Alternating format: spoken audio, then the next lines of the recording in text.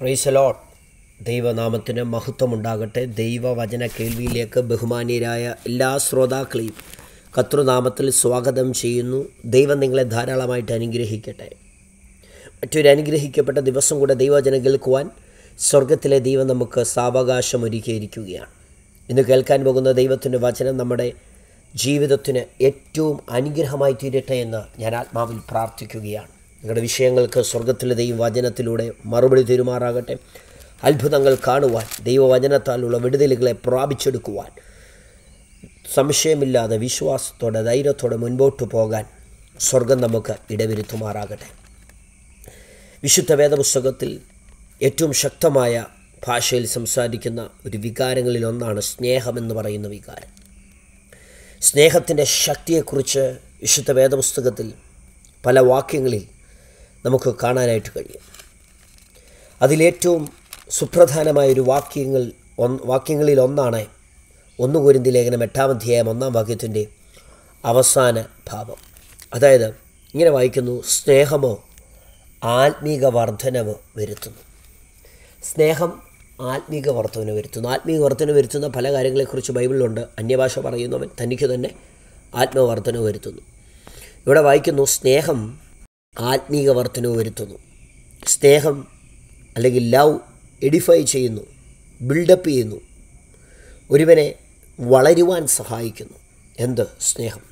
ഇന്ന് മെസ്സേജ് കേൾക്കുന്ന പ്രിയമുള്ളവരെ നമ്മുടെ ഉള്ളിൽ സ്നേഹമുണ്ടെങ്കിൽ പ്രത്യേകിച്ച് ദൈവത്തിന്റെ സ്നേഹം നമ്മിൽ നിറയുന്നുണ്ടെങ്കിൽ നിശ്ചയമായിട്ടും നമുക്ക് പറയാൻ പറ്റും ആ ദൈവത്തിന്റെ സ്നേഹം നമ്മളെ വളർത്തും. നമ്മുടെ ഉള്ളിൽ സ്നേഹമുണ്ടെങ്കിൽ നിശ്ചയമായിട്ടും നമ്മൾ അനുഗ്രഹിക്കപ്പെടും. നമ്മുടെ ആത്മീകമായി പുഷ്ടിപ്പെടും. നമ്മുടെ ആത്മീക ജീവിതം ഏറ്റവും ചൈതന്യമുള്ളതായിത്തീരും. പക്ഷെ നമ്മുടെ ഉള്ളിൽ സ്നേഹമില്ലെങ്കിൽ യഥാർത്ഥത്തിലുള്ള ദൈവസ്നേഹം നമ്മിലില്ലെങ്കിൽ നിശ്ചയമായിട്ടും നമ്മൾ വളരില്ല നമ്മൾ തളരും. നമ്മളുടെ ആത്മീയ വർധന ഉണ്ടാകത്തില്ല ആത്മീയ ശോഷണമുണ്ടാകും ബിൽഡപ്പല്ല നടക്കുന്നത് ഡിസ്ട്രോയ് ആവും. വളരുന്നതിന് പകരം തളരും. ഉയർച്ച പ്രാപിക്കുന്നതിന് പകരം താഴ്ച പ്രാപിക്കുക. എപ്പോഴാണ് സ്നേഹമില്ലാതായി തീരുമ്പോൾ. നമ്മുടെ ഉള്ളിൽ നിറയണം ദൈവസ്നേഹം. ഇന്ന് മെസ്സേജ് കേൾക്കുമ്പോൾ ഒരു പ്രാർത്ഥന ഉണ്ടായിരിക്കണം. കർത്താവേ ദൈവത്തിന്റെ ആ സ്നേഹത്താൽ എന്നെ നിറയ്ക്കണം. മറ്റുള്ളവരെ സ്നേഹിക്കുവാൻ എന്നെ സഹായിക്കണമേ എന്ന്. ഗോഡ് ഈസ് ലവ് എന്നാണ് യോഹന്നാന്റെ ലേഖനത്തിൽ നമുക്ക് വായിക്കാൻ കഴിയും. ദൈവസ്നേഹമാണ് ദൈവം തിന്മയല്ല ദൈവം സ്നേഹമാണ് അങ്ങനെ ഞങ്ങൾ ആ ദൈവത്തെ വിശ്വസിക്കുക ആ ദൈവത്തിന്റെ വചനം കേൾക്കുകയും ചെയ്യുന്ന നമ്മൾ പൂർണമായും സ്നേഹിക്കണം. ഇന്ന് മെസ്സേജ് കേൾക്കുമ്പോൾ ആരോടെങ്കിലും പിണക്കമുണ്ടോ? ആരോടെങ്കിലും കൈപ്പോടാണോ ഇരിക്കുന്നത്? പക്ഷേ സ്നേഹത്തിന്റെ ശക്തി എന്താണെന്ന് നിങ്ങൾ തിരിച്ചറിഞ്ഞാൽ സകല പിണക്കങ്ങളും മാറ്റിവെക്കും ആരോടും പിണങ്ങിയിരിക്കത്തില്ല. തെറ്റൊരു പക്ഷെ അവരുടെ ഭാഗത്തായിരിക്കും. നമ്മുടെ ഭാഗത്താ സത്യം. അവർ തിരുത്തേണ്ട ഭാഗങ്ങൾ കാണും. പക്ഷേ അതവിടെ നിൽക്കട്ടെ. നിങ്ങൾക്ക് വളരാൻ താല്പര്യമുണ്ടോ? ദൈവവചനത്താൽ വളരുവാൻ ആത്മീക ജീവിതം ഒന്ന് ഉയർന്നു വരാൻ ദൈവത്തിൽ നിന്ന് അനുഗ്രഹങ്ങളെ പ്രാപിപ്പാൻ നിങ്ങൾക്ക് ആഗ്രഹമുണ്ടോ? തയ്യാറാണോ? നിശ്ചയമായിട്ടും. അങ്ങോട്ട് എന്ന് അവരോട് സംസാരിക്കുക അങ്ങോട്ട് ചെന്ന് പ്രശ്നങ്ങളെ പരിഹരിക്കാൻ വേണ്ടി നമ്മൾ തയ്യാറാകും. ഒന്ന് രണ്ട് തവണ പരാ ശ്രമിച്ചു പരാജയപ്പെട്ട് വീണ്ടും ശ്രമിക്കുക. കാരണം സ്നേഹം ആത്മീയവർദ്ധന വരുത്തുകയാണ്. ഏറ്റവും അനുഗ്രഹിക്കപ്പെട്ട സ്നേഹത്തിന്റെ ശക്തിയാണത്.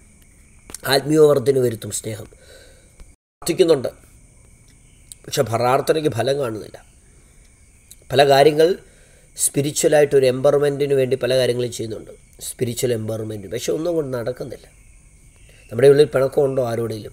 ആത്മീയവർദ്ധനം ഉണ്ടാകത്തില്ല. എത്ര അന്യഭാഷ പറഞ്ഞെന്ന് പറഞ്ഞാലും എത്ര ഉപവസിച്ചെന്ന് പറഞ്ഞെന്ന് പറഞ്ഞാലും മനുഷ്യരെ നമുക്ക് സ്നേഹിക്കാൻ കഴിയുന്നില്ലെങ്കിൽ നമ്മുടെ ശത്രുക്കളെ നമുക്ക് സ്നേഹിക്കാൻ കഴിയുന്നില്ലെങ്കിൽ നമുക്കെതിരെ ദ്രോഹം ചെയ്യുന്നവരെ നമുക്ക് സ്നേഹിക്കാൻ കഴിയുന്നില്ലെങ്കിൽ അത് ദൈവസ്നേഹമല്ല.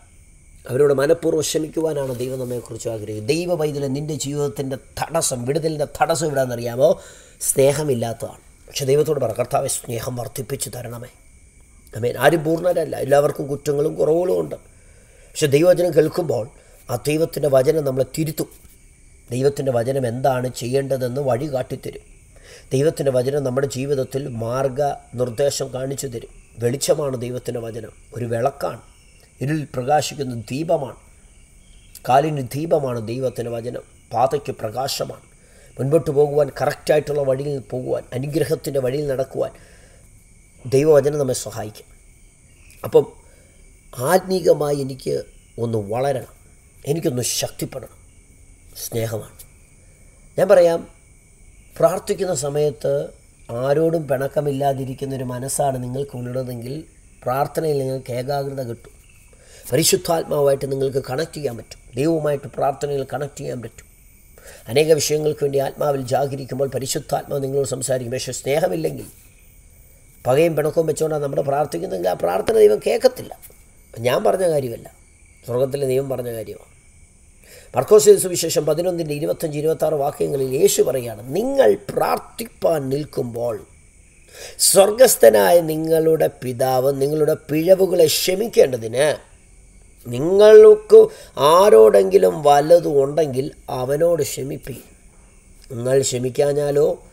സ്വർഗസ്ഥനായ നിങ്ങളുടെ പിതാവ് നിങ്ങളുടെ പിഴവുകളെയും ക്ഷമിക്കുകയില്ല. മത്തായി ആറിന്റെ പന്ത്രണ്ടിൽ പ്രാർത്ഥന പഠിപ്പിക്കുമ്പോൾ യേശുവിന്റെ പ്രശസ്തമായ പ്രാർത്ഥന. അതിനകത്ത് പറഞ്ഞാൽ ഞങ്ങളുടെ കടക്കാരും ഞങ്ങൾ ക്ഷമിക്കുന്ന പോലെ. ഞങ്ങളുടെ കടങ്ങളെ ഞങ്ങളോട് ക്ഷമിക്കണമേ. അതായത് നമ്മൾ മനുഷ്യരോട് എന്തെങ്കിലും കടപ്പെട്ടിരിക്കുകയാണെങ്കിൽ അവരുടെ തെറ്റുകളെ നമ്മൾ ക്ഷമിച്ചാൽ ദൈവം നമ്മുടെ തെറ്റുകളെ ക്ഷമിക്കും. നമ്മളാണ് ക്ഷമിക്കേണ്ടത്. തിരിച്ചറിയണം. ഒരുപക്ഷെ പറയുന്നുണ്ടായിരിക്കും ഞാനെന്തിനാണ് ക്ഷമിക്കേണ്ടത് എന്റെ ഭാഗത്തല്ലല്ലോ തെറ്റ്. അല്ല നമ്മളാണ് ക്ഷമിക്കേണ്ടത്. വിടുതൽ വേണോ? ക്ഷമിക്കുക ദൈവം പ്രാർത്ഥന കേൾക്കണോ? ക്ഷമിക്കുക ദൈവം പാപം ക്ഷമിച്ചു തരണോ? നമ്മളാദ്യം ക്ഷമിക്കുക അതാണ് ദൈവത്തിന്റെ പ്രത്യേകത. നമ്മൾ തീരുമാനമെടുക്കണം. എനിക്ക് വിടുവിക്കപ്പെടണം. എന്റെ തലമുറ വിടുവിക്കപ്പെടണം. എന്റെ ആത്മീയ ജീവിതം വള- വള- വളരണം. ഇങ്ങനെയൊന്നും നിന്നാൽ പോരെ. ഞാൻ കേട്ട ദൂത് ഇതൊന്നുമല്ല. നീ കേട്ട ദൂതിനനുസരിച്ചാണോ ഇപ്പം നീ ജീവിക്കുന്നത്? അല്ല. നീ കേട്ടത് വലിയ ദൂതാണ് വലിയ വാക്തത്വമാണ് നിനക്ക് വലിയ കാര്യങ്ങൾ നേടിയെടുക്കാനുണ്ട് ഇനി കർത്താവിൽ നിന്ന് വലിയ കാര്യങ്ങൾ പ്രാപിച്ചെടുക്കാനുണ്ട്. വലിയ ശുശ്രൂഷകൾ നിനക്ക് ചെയ്തെടുക്കാനുണ്ട്. പക്ഷേ നീ ഇപ്പം നിൽക്കുന്നത് നിന്റെ ഫൈനൽ ഡെസ്റ്റിനേഷനിലല്ല എവിടെയോ നിൽക്കുകയാണ് നീ എത്തണം ആ ഡെസ്റ്റിനേഷനിലേക്ക് ഫൈനൽ പോയിന്റിലേക്ക് നീ എത്തണം. അതിന് ദൈവം നിന്നെ സഹായിക്കും. നീ ചെയ്യേണ്ട കാര്യം നീ സ്നേഹിക്കാൻ തയ്യാറാകണം. സ്നേഹത്തിന്റെ ഏറ്റവും വലിയ എക്സാമ്പിളാണ് അല്ലെങ്കിൽ സ്നേഹിക്കുന്നു എന്നുള്ളതിന്റെ ഏറ്റവും വലിയ തെളിവാണ്. തെളിവാണ്. എന്റെ സിഗ്നലാണ് ഒരാൾ ക്ഷമിക്കുക എന്ന് പറഞ്ഞാൽ സ്നേഹിക്കുന്നവർക്ക് മാത്രമേ ക്ഷമിക്കാൻ പറ്റത്തുള്ളൂ. അതാണ് ബൈബിൾ പറഞ്ഞത്. സ്നേഹത്തെക്കുറിച്ച് ഒരു അധ്യായം തന്നെ ബൈബിളിൽ മാറ്റി വെച്ചിട്ടുണ്ട്. ഒന്ന് കോരിന്തിയർ പതിമൂന്ന്. അതിനകത്ത് പറയുന്നു സ്നേഹം ദീർഘമായി ക്ഷണിക്കുകയും ക്ഷമിക്കുകയും ദയ കാണിക്കുകയും ചെയ്യുന്നു. അതായത് ഒന്ന് കോരിന്തിയർ പതിമൂന്നിന്റെ പതിനാല് നാലാണ്. പതിമൂന്നിന്റെ നാലാണ് പറയുന്നത് സ്നേഹം ദീർഘമായി ക്ഷമിക്കുകയും. സ്നേഹമെല്ലാം സഹിക്കും. ദീർഘമായി ക്ഷമിക്കും. ചുമ്മാ ക്ഷമിക്കില്ല ദീർഘമായിട്ട് ക്ഷമിക്കും. അതായത് വലിയ ക്ഷമയാണ്. എത്ര വലിയ തെറ്റ് ചെയ്താലും സ്നേഹമുണ്ടെങ്കിൽ ക്ഷമിക്കും. തെറ്റ് ചെയ്തിട്ടുണ്ടെങ്കിൽ സ്നേഹമുണ്ടെങ്കിൽ അത് ക്ഷമിക്കും. സ്നേഹി സ്നേഹമുള്ളവർക്ക് മാത്രമേ ക്ഷമിക്കാൻ പറ്റത്തുള്ളൂ. ദൈവസ്നേഹം ഉള്ളിൽ നിറഞ്ഞു നിൽക്കുന്നവർക്ക് മാത്രമേ മറ്റുള്ളവരോട് ക്ഷമിക്കാൻ പറ്റത്തുള്ളൂ. അവർക്ക് മാത്രമേ ആത്മീയ വർധന ഉണ്ടാവില്ല അതാണ് കർത്താവ് പറഞ്ഞത്. എന്ത്? നിങ്ങളുടെ നിങ്ങൾക്ക് മനുഷ്യരോട് എന്തെങ്കിലും ഉണ്ടെങ്കിൽ നിങ്ങളത് ക്ഷമിക്കണം. എന്നാലേ സ്വർഗസ്ഥനായ പിതാവ് നിങ്ങളോട് ക്ഷമിക്കത്തുള്ളൂ. അപ്പോൾ സ്നേഹമുള്ളവർക്ക് ക്ഷമിക്കാൻ പറ്റത്തുള്ളൂ. നമുക്ക് ക്ഷമിക്കാൻ പറ്റുന്നില്ലെങ്കിൽ അതിന്റെ അർത്ഥം സ്നേഹമില്ല. ദൈവസ്നേഹമില്ല. ദൈവസ്നേഹം ഉണ്ടെങ്കിൽ ക്ഷമിക്കാൻ പറ്റും. പ്രിയമുള്ളവരെ നമ്മുടെ ജീവിതത്തിൽ സമാധാനം ലഭിക്കുന്ന എപ്പോഴാണെന്നറിയോ? എല്ലാ മനുഷ്യരോടും പിണങ്ങാതിരിക്കുമ്പോഴാണ് എല്ലാവരോടും സ്നേഹത്തോടെ ഇരിക്കുമ്പോഴാണ് സമാധാനം. അത് വലിയൊരു അനുഗ്രഹമാണ്. എന്റെ ജീവിതത്തിൽ എനിക്ക് സമാധാനം സ്വസ്ഥത അനുഭവിക്കാൻ ദൈവത്തോട് പറ കർത്താവെ സ്നേഹിക്കാനും ക്ഷമിക്കാനും ഉള്ളൊരു ഹൃദയം എനിക്ക് തരണമേ. അങ്ങനെ മറ്റുള്ളവരോട് ക്ഷമിച്ചു കഴിയുമ്പോൾ നിന്റെ പകുതി ഭാരം നിന്നെ വിട്ടുപോകും മനുഷ്യരുമായി ബന്ധപ്പെട്ട് നിനക്ക് എന്തെങ്കിലും പ്രശ്നങ്ങൾ ഇന്ന് നീ അനുഭവിക്കുന്നുണ്ടെങ്കിൽ മനുഷ്യരുമായി ബന്ധപ്പെട്ട എന്തെങ്കിലും വിഷയങ്ങൾ വീട്ടിലോ കുടുംബത്തിലോ ജോലി സ്ഥലത്തോ നീ അനുഭവിക്കുന്നുണ്ടെങ്കിൽ അതിന്റെ വിടുതലിന്റെ താക്കോൽ ദൈവം നിന്റെ കയ്യിൽ ഈ വചനത്തിലൂടെ തിരിയുക. അങ്ങോട്ട് ചെന്ന് ക്ഷമ പറയണം. അങ്ങോട്ട് ചെന്ന് അവരെ ഫോൺ വിളിക്കണം. അങ്ങോട്ട് ഫോൺ വിളിക്കണം. അങ്ങോട്ട് മെസ്സേജ് അയക്കണം. അങ്ങോട്ട് കാര്യങ്ങൾ പറയണം. എന്നോട് ക്ഷമിക്കണം. ചുമ്മാ വിളിക്കണം. ആരോടെങ്കിലും കയ്പുണ്ടോ ഹൃദയത്തിനകത്ത്? ആരോടെങ്കിലും ഹൃദയത്തിനകത്ത് എന്നോട് ആർക്കെങ്കിലും പിണക്കുണ്ടാ എന്നുള്ളൊരു ചിന്തയുണ്ടോ? എന്നോട് ഇന്ന ആൾക്ക് പിണക്കാണെന്ന് എനിക്ക് തോന്നുന്നു. ഇന്ന അച്ഛൻ ഇന്ന അമ്മാമയ്ക്ക് ഇന്ന കൊച്ചൻ ഇന്ന പാസ്റ്ററിന് ഇന്ന പുരോഹിതന് എന്നോട് പിണക്കുണ്ടെന്ന് തോന്നുന്നു. അങ്ങനെ എന്തെങ്കിലും തോന്നുന്നു തോന്നൽ ഉണ്ടെങ്കിൽ അവർക്ക് നമ്മോട് പിണക്കുണ്ടെന്ന് തോന്നുകയാണ്. നമ്മൾ അങ്ങോട്ടങ്ങ് വിളിക്കണം. ഇപ്പം തന്നെ വിളിക്കേ. ഈ മെസ്സേജ് കേട്ട് പിന്നെ ഉടനെ വിളിക്കേ. അങ്ങോട്ട് വിളിക്കേ. സാറേ ഇങ്ങനെയാ കാര്യം. അച്ഛാ അമ്മാമേ ആന്റി അങ്കിൾ അച്ഛാ അമ്മേ മോനെ മോളെ. ഞാൻ നിന്നെ ഒന്ന് വിളിക്കാൻ വെച്ചിരിക്കുകയായിരുന്നു. അങ്ങോട്ട് വിളിച്ചു നോക്ക്.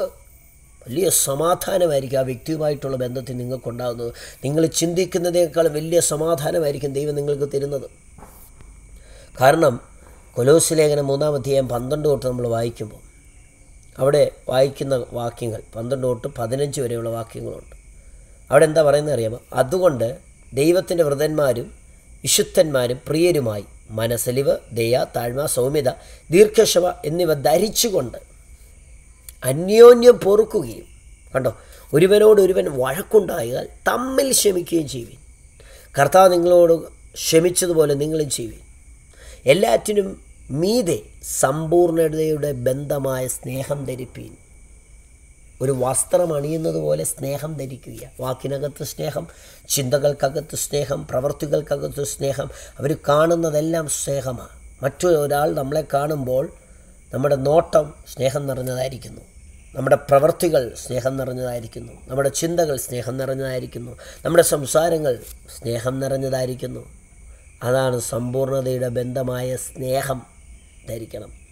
അങ്ങനെ സ്നേഹം ധരിക്കുമ്പോൾ എല്ലാവരോടും സമാധാനം ആചരിച്ച് സ്നേഹത്തോടെ സന്തോഷത്തോടെ ജീവിക്കുന്ന ഒരാളെ സംബന്ധിച്ച് അവരുടെ ജീവിതത്തിനകത്ത് ലഭിക്കുന്ന ഏറ്റവും വലിയൊരു അനുഗ്രഹമുണ്ട്.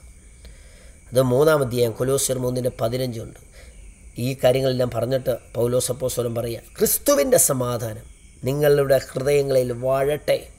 പ്രിയമുള്ളവരെ ഈ ലോകത്തിൽ എത്രയെത്ര കോടിക്കണക്കിന് പണം സമ്പാദിച്ചു എന്ന് പറഞ്ഞാലും സമാധാനമില്ലെങ്കിൽ പിന്നെ ഒന്നുമില്ല.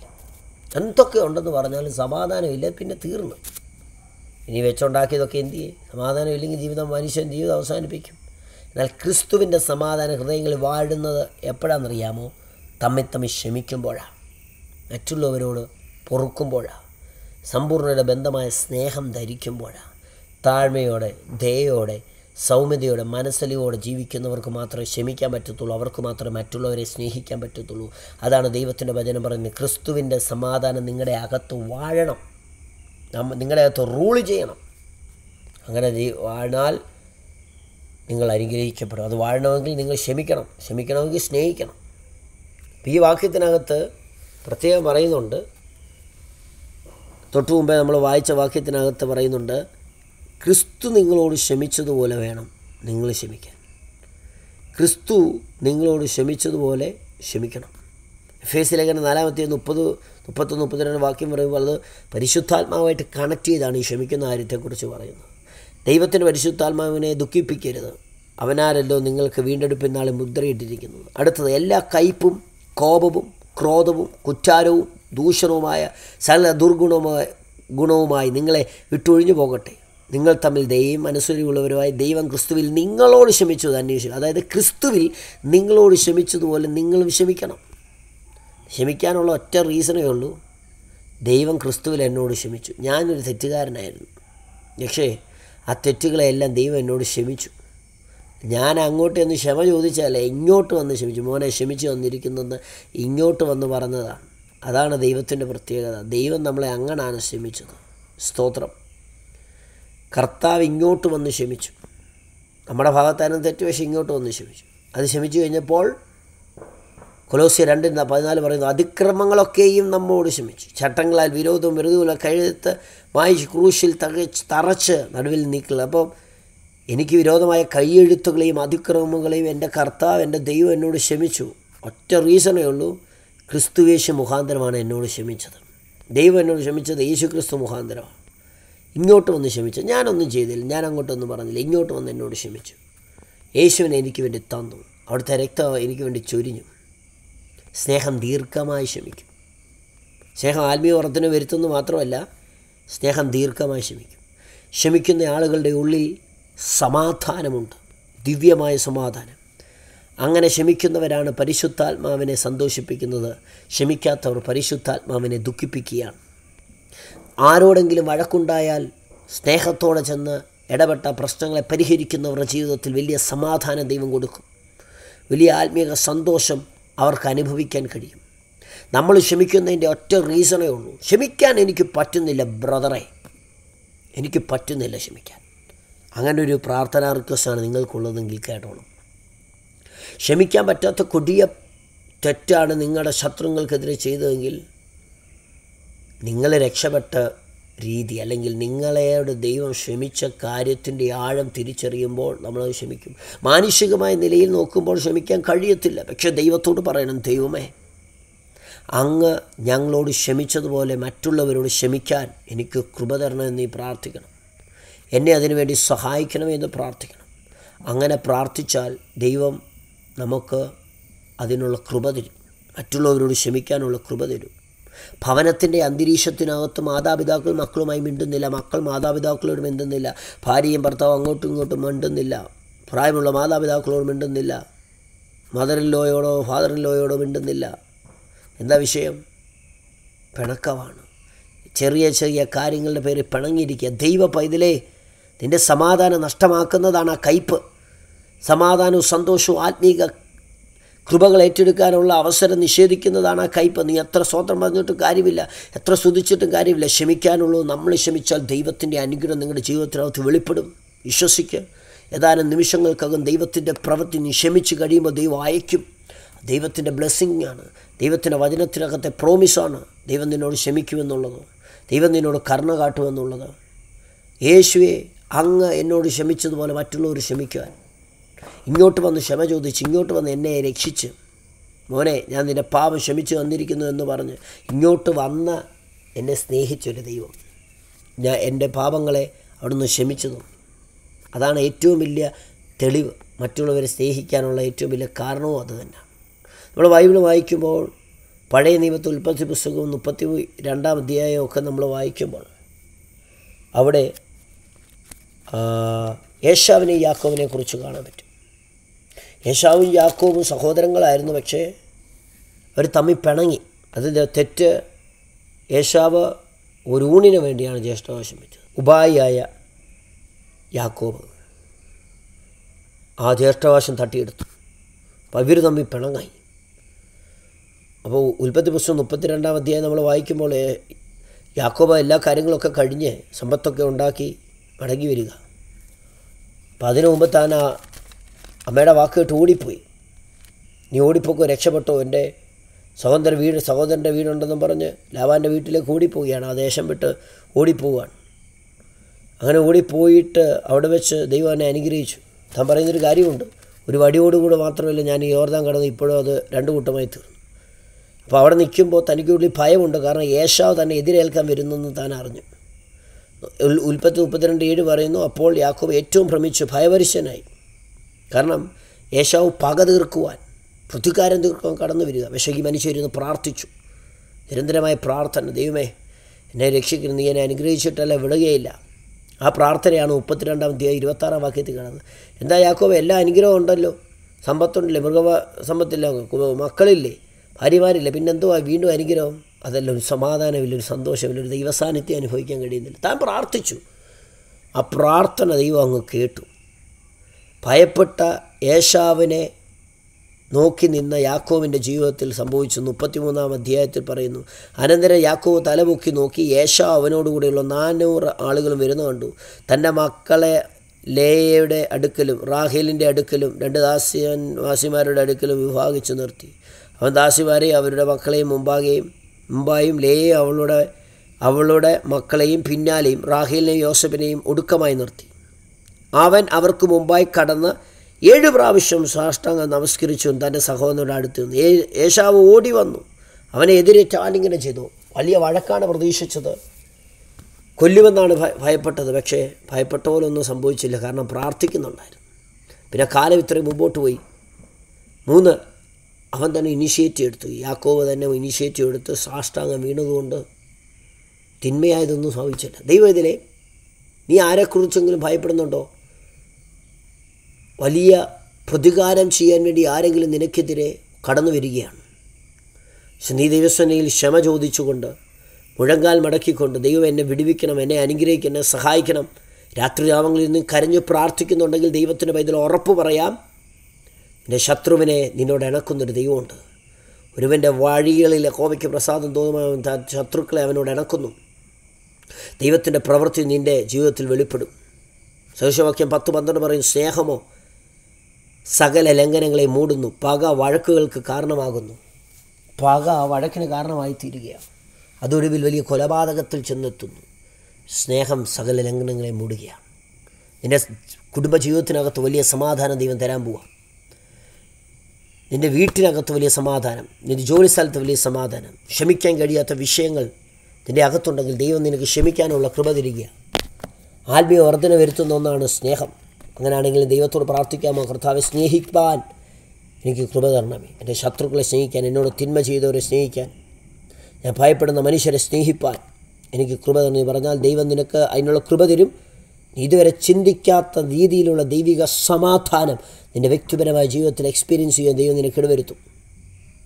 നമുക്ക് ഒരുമിച്ച് പ്രാർത്ഥിക്കാം. ഈ പ്രാർത്ഥനയിൽ സമർപ്പിക്കുക. കർത്താവേ വചനത്തിനകത്ത് പറഞ്ഞിരിക്കുന്ന വിടുതലുകളെ പ്രാപിച്ചെടുക്കാൻ എന്നെ സഹായിക്കണമെന്ന് പൈശാചികന്റെ ഒരു പ്രവണതകളും ഒരു സ്വാധീനവും നിന്നെയും നിന്റെ കുടുംബത്തെയും സ്വാധീനിക്കാൻ പാടില്ല. ദൈവത്തിന്റെ വചനത്തു മുമ്പാകെ സമർപ്പിക്കുക യാക്കോ പ്രാർത്ഥിച്ചതുപോലെ ദൈവത്തിന്റെ കൃപ കൊണ്ട് ജീവിതം മുമ്പോട്ട് നയിക്കാൻ അവന് കഴിഞ്ഞതുപോലെ നീ ഈ സമയം പ്രാർത്ഥിക്കുക ദൈവപ്രവൃത്തി വെളിപ്പെടാൻ നിന്റെ വ്യക്തിപരമായ ജീവിതം കുടുംബജീവിതത്തിൽ ദൈവത്തിന്റെ പ്രവൃത്തി വെളിപ്പെടാൻ നീ പ്രാർത്ഥിക്കുക. ദൈവം അത്ഭുതം ചെയ്യും. നമുക്ക് പ്രാർത്ഥിക്കാം. സ്വർഗീപിതാവേ ദൈവം കേട്ടവിടുത്തെ മക്കളെ അവിടുത്തെ ഏൽപ്പിച്ച് പ്രാർത്ഥിക്കുന്നു. ദൈവസ്നേഹത്തിന്റെ ശക്തി എന്താണെന്ന് തിരിച്ചറിയുവാൻ ഞങ്ങളെ സഹായിച്ചല്ലോ. ആത്മീയ വർധന വരുത്തുന്നത് ദൈവസ്നേഹമാണല്ലോ കർത്താവെ. അമേൻ സകല ലംഘനങ്ങളെ മൂടുന്നത് ദൈവസ്നേഹമാണല്ലോ. സ്നേഹിക്കുന്ന ഞങ്ങളുടെ ജീവിതത്തിൽ മറ്റുള്ളവരോട് ക്ഷമിക്കാൻ കർത്താവ് കൃപ തരണമേ.